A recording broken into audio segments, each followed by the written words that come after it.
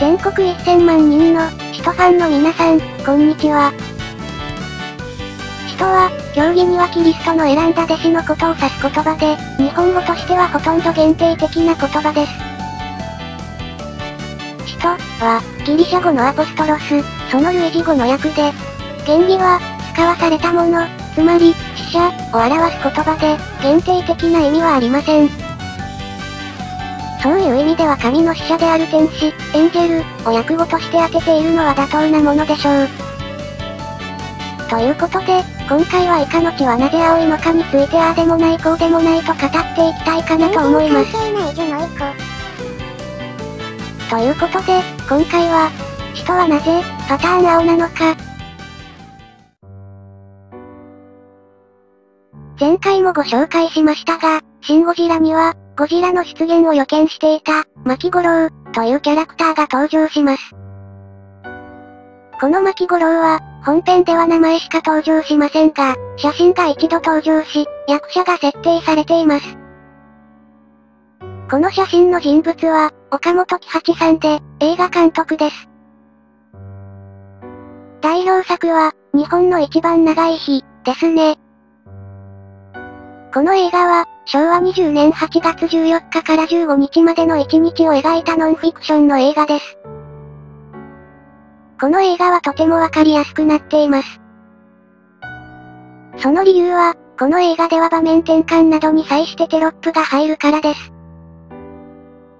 この映画だけではなく、岡本喜八さんの映画の特徴の一つでもあります。そして庵野監督は、岡本喜八監督へのオマージュとしてテロップを使用しているわけです。進撃の、樹の説明では、ゲイの域に達していると書かれています。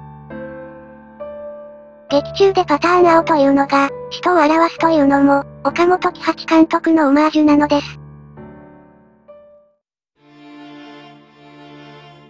エヴァンゲリオンでは、人の判別は、分析パターン青、と表現されています。人は何らかのパターンが青だということですね。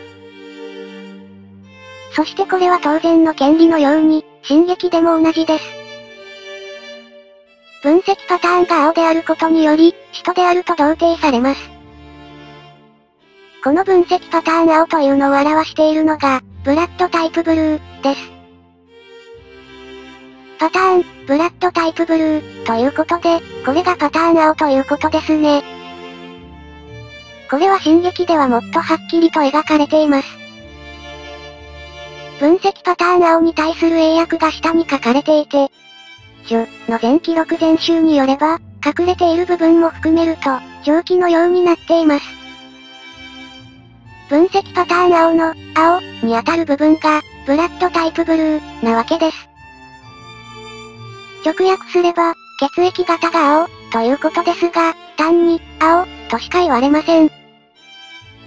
重要なのは、青とか赤とか、血液型ではなく、ブラッドタイプブルー、という言葉なのです。この、ブラッドタイプブルー、というのは、1978年に公開された SF 映画、ブルークリスマス、のサブタイトル、英字タイトル、です。そしてこの映画の監督は、岡本喜八さんです。要するにこの映画のオマージュであるわけです。以前にご紹介しました、第三神東京市、と同じですね。さよならジュピター、に登場する、東京3、からの引用であり、3、に深い意味があるわけではないということです。とはいえ、テレビ版の第2話で第3使徒と対決するシーンでは、サキエルは、初号機に腕をねじられた際に青い液体を出しており、使徒の血は青いのかもしれません。別の人は赤い液体を出すので何とも言えませんが、サキエルと同様のシーンが、進撃の、ュでもありますが、こちらは赤黒い液体に変更されています。進撃での人は、継承崩壊することによって赤い液体に変わってしまいます。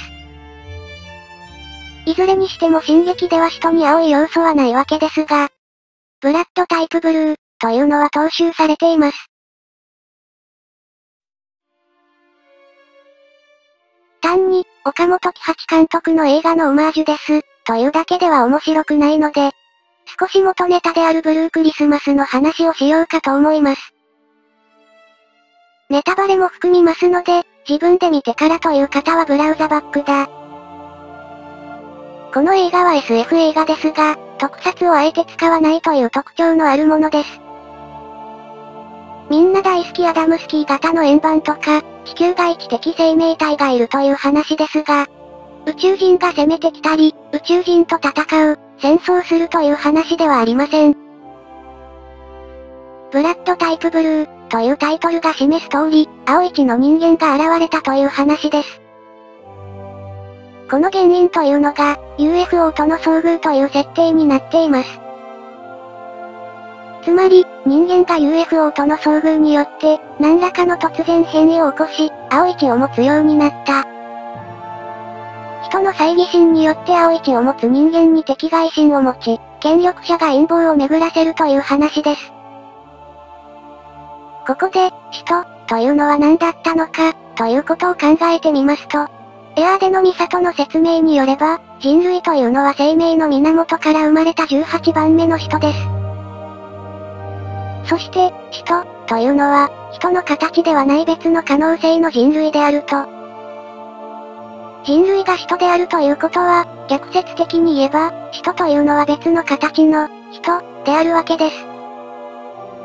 23話で霊が人を、人、と呼ぶのはこのためですね。つまり、人と人の戦いというのは、人と、形の違う人の戦いです。ブルークリスマスの話に戻りますと、この話も人と、血の色が違う人の争いなのです。実際にはこの映画では争っているわけではなく、一方的なものですが、単にタイトルをオマージュしているだけでなく、話の内容的にもオマージュされているわけです。人の分析パターン青というのは、岡本喜八監督の、ブルークリスマス、のオマージュであり、進撃でも踏襲されている。いかがでしたでしょうか？ブルークリスマスは、異星人らしきものの存在をほのめかしているにもかかわらず、結局、最後の敵は、人間なんだという話です。人間の怖さや醜さを表しているわけですが、エヴァンゲリオンでもこんなことが言われていますよね。お互いを拒絶するしかなかった。悲しい存在だったけどね。同じ人間同士も。やはり、最後の敵は、同じ人間だったな。あえて、ブルークリスマスから引用したというのは、何らかの意図があったのかもしれませんね。ブルークリスマスをご覧になったことがない方がいましたら、ご覧になるきっかけになれば幸いです。今回はここまでです。ご視聴ありがとうございました。